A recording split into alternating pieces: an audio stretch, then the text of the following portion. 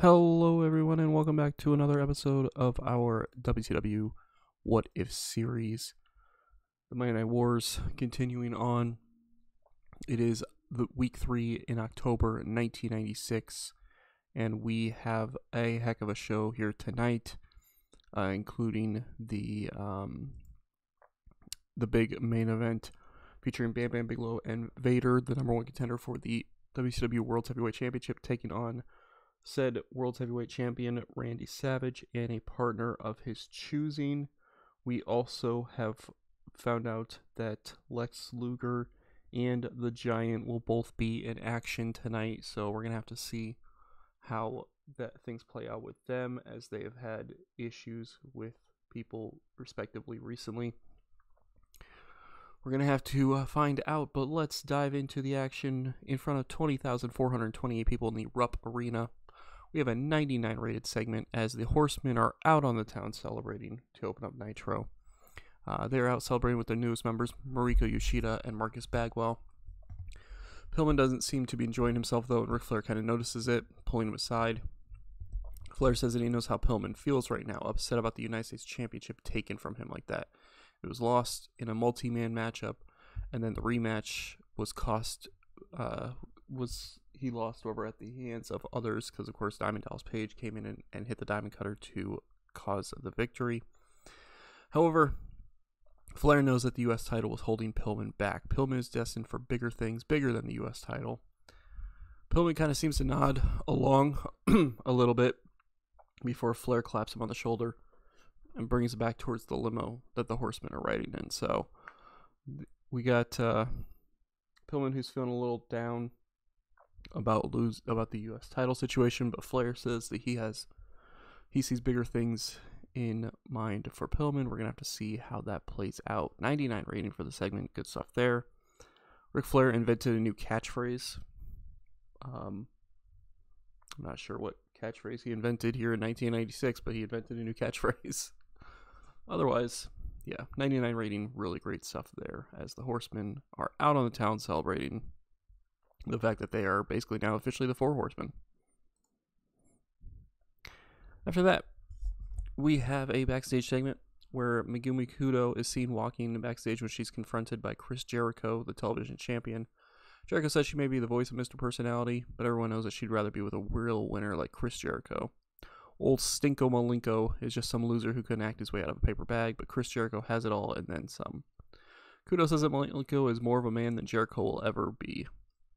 Jericho laughs this off, saying she must be brainwashed or something because he knows Malenko, and I couldn't be farther from the truth. Kudo says that he knows that Jericho knows nothing, but he should know one thing that Halloween Havoc there will be a new WCW television champion. Kudo walks off, leaving Jericho standing there with a smirk on his face, so clearly Jericho has something in mind. But we'll have to see what that is in the future. 64 rating for the segment, pretty good stuff there. We then go to the ring for our first matchup, which gets a 70 as the Giant defeats Kendall Windham in 601 by pinfall the Big Boot. Uh, 84 from the Giant, 49 from Kendall Windham. Lack of selling, lack of psychology. I figured as much. Um, even in a six minute matchup, I figured as much. Um, it kind of sucks because the Giant is a good in ring performer, but he just does not have the the uh, in ring like person uh, psychology and stuff. So I I would have to constantly keep putting him in matches with other people with psychology, which a lot of times I have, you know, with other people. So I'm gonna have to keep figuring stuff out with him. But nevertheless, Giant gets a bit of a squash of victory here in six minutes. However, during the matchup, uh, Meng came out and was standing on the stage watching the action. Afterwards, Meng is still there as the Giant stares him down before James Mitchell gets a mic, clearly still kind of banged up from last week. Uh, Mitchell says that Giant will pay for his sins at Halloween Havoc, whether he wants to or not. So, potentially a match between the two at Halloween Havoc. We're not sure, but apparently Giant is going to pay for his sins at the pay per view. We'll have to see what that means. 83 rating for this segment. Good stuff there. After that, we have a promo with the Outlaws backstage. They're getting interviewed by Gene Okerlund, but the interview is quickly interrupted by Harlem Heat.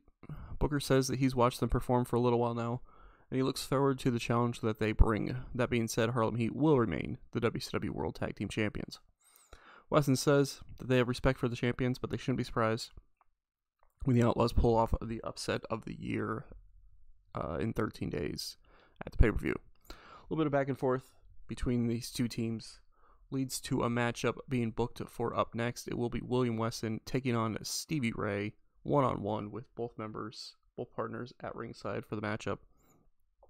This guy's 68, which isn't too bad.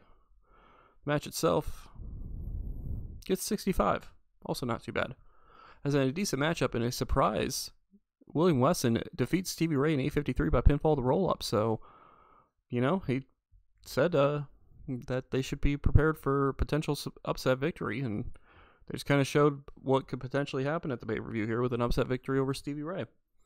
As a bit of a roll up gets the victory for William Weston, who had a 55. Stevie Ray had a 70, 65 rating for the match itself. Not strong, but it is what it is. Um, but the Outlaws have some momentum heading into the pay per view. Of course, we'll have to see what happens next week on Nitro. After that, our weekly New World Order video begins playing with Paul Levesque and Ted DiBiase standing there. Levesque and DiBiase start mocking Cactus Jack, but before they can get much into things, Steve Austin suddenly attacks Levesque. During the middle of the video, he, you know, the black and white video and everything like that over, all of a sudden Steve Austin attacks Levesque.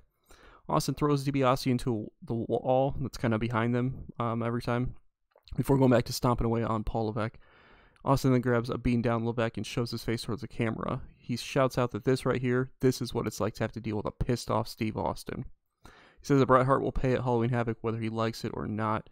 He then throws Levesque into the same wall he just launched DiBiase into before walking out of view. So, Steve Austin taking it to a member of the of the NWO uh, before his matchup with Bret Hart in 13 days at Halloween Havoc. We're gonna have to see what implications this has heading forward. But Steve Austin getting one up on the NWO here. Seems like 88 rating for the segment. Good stuff there. After that, we see why two members of the NWO were not there to help break up the fight, as in a decent matchup, the New World Orders team of Jerry Lynn and Sean Waltman defeat the Rock and Roll Express in 923 when Jerry Lynn submitted Robert Gibson with a cross armbreaker submission. Um, ignore the the Sean Waltman and Ted DiBiase are good pairings bit because technically uh, Ted DiBiase is not there ringside with them because he is currently beat up somewhere. I mean, the video is not like a live video, but he's still, you know, he's not there because he's selling the the fact that he's that he got attacked. Nevertheless, New World Order picking up a victory over the Rock and Roll Express, who were a tag team in the uh, triple threat number one contenders matchup last week. Um, they do, you know, it is stated that any member of the New World Order can challenge for any championship they want between now and the end of the year. So, you know, I maybe uh maybe Jerry Lynn and Sean Waltman will challenge the tag team champions. We'll have to see. We will have to see for sure. But uh 73 rating for the match is pretty good. And look at that too. I again, I continue to say this and I'm sure some of you out there are continuing to get sick of me saying it, but look at that in ring performance for Jerry Lynn. If you look back to when he was Mr. JL, he was doing like 35 to 40 in ring performances. And now he, we've got him up to a 66 in ring performance in a matchup. And, and it's not like him and Waltman have excellent chemistry with each other, so he's getting that naturally, which is fantastic at this point. 68 from Waltman, 65 from Gibson, 59 from Ricky Morton. Morton and Waltman seemed off their game, so I mean, Waltman I kind of expected a 70 something for, so him being off his game kind of makes sense. But yeah, really good showing here as uh, the New World Order get a victory, even though, you know, obviously WCW we don't want the New World Order to get a victory, but they do get a victory nonetheless. After that, we have a 100 rated segment, which I kind of, uh, when I was booking the show, I kind of came up with on the fly and thought, well, that'd be kind of interesting to have this happen. As Diamond Dallas Page is walking down a hallway, when he ends up face to face with Eddie Guerrero, of course, longtime viewers of the series know the history between Diamond Dallas Page and Eddie Guerrero, their battles over the United States Championship and everything that happened there. There's a bit of an awkward look based off of that. Page puts his hands up, kind of in a kind of in a surrender-ish kind of thing, you know, like, oh, hold on, hold on. Says that last time he knows that they interacted, Page wasn't exactly friendly towards him. However, that was a different him, one that's seen different days and different ways since then.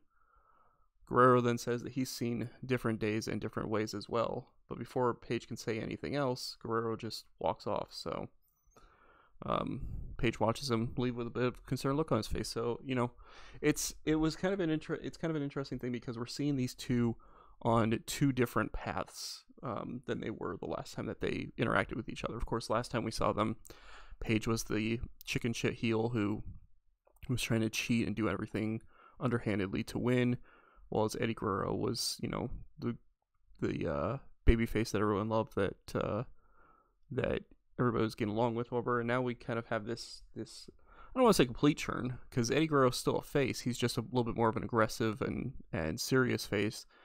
While Diamond Dallas Page, of course, is a is a, you know getting the big pops and everything like that right now because he went up against the Horseman, and, or he's going up against the Horseman that is, and so it's kind of a kind of interesting to see these two interacting after months of dealing with each other. Kind of see these two interacting in you know completely different paths at this point. But 100 rating segment, really good stuff there as well.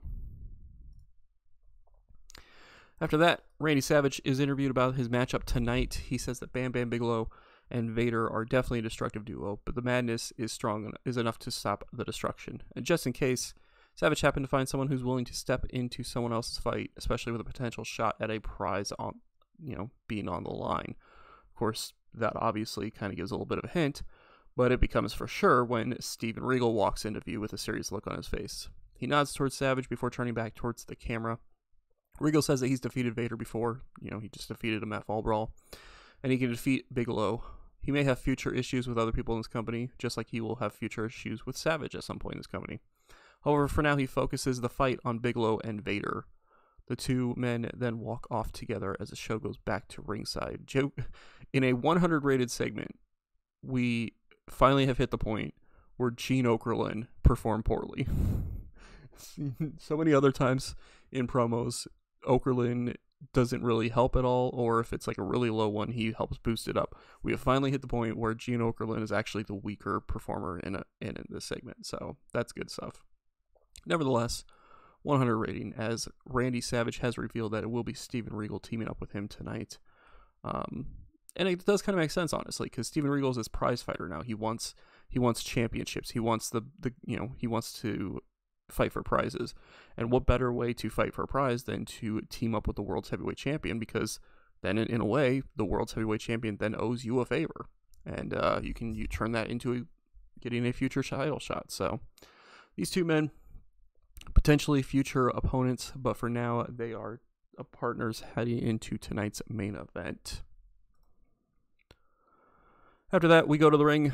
Lex Luger has a nine minute victory over Rocky Maivia by submission with a torture rack. 65 rating for the match.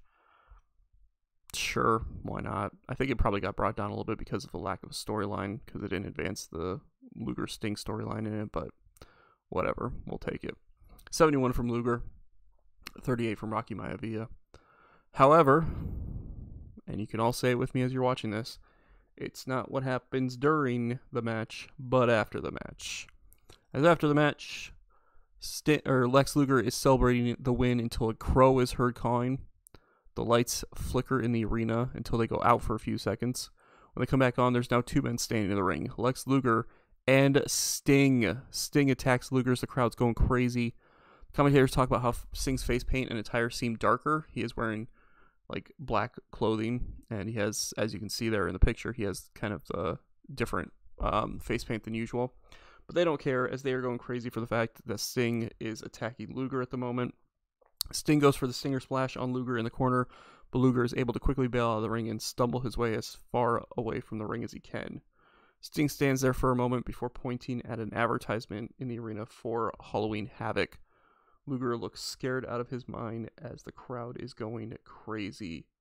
So, kind of basically, Sting kind of saying, "Hey, I want a shot at you, at, you know, against you at Halloween Havoc. It's not an official confirmed match yet, but it kind of you know seems like it's going to ha- lead to something. But Sting has a little bit of a darker look to him, not the full on like crow look that obviously we're all familiar with. Um, but he does have this darker look to him. He has the he has white uh white with black face paint, and he's wearing like the trench coat and just kind of like darker attire. Um, again, it's not the the usual crow look like we're used to, but it's kind of showing this this kind of change. He you know he's he's clearly mentally hurt or whatever, uh, mentally hurt or disturbed by what Luger did to him. So he's kind of shown this little bit of a darker side. We'll have to see how that plays out. But this gets 74. I'll see for the storyline because I tried rating Luger on something again. Whatever. I just needed I need to get through this storyline so I can uh, move both men on to different things. Um, which sucks because I, you know, in in theory or on paper, it's it's a great storyline. Um, it just uh, rating wise, it's just not translating to uh, to really great ratings, unfortunately. After that, Barry Windham is seen leaving Roddy Piper's office when Dustin Rhodes approaches him. Rhodes asks him about uh, what he was talking to Piper about, and Windham says that next that he wants a piece of horse the horsemen for what happened last week. I am stumbling over my words right now. However, since the horsemen aren't here tonight, he's gotten the two of them a match against Marcus Bagwell and Chris Benoit next week on Nitro. Rhodes looks glad, saying he wanted a piece of them after that attack. He goes to walk off, but Windham stops him. Windham says that wasn't the only thing he asked for.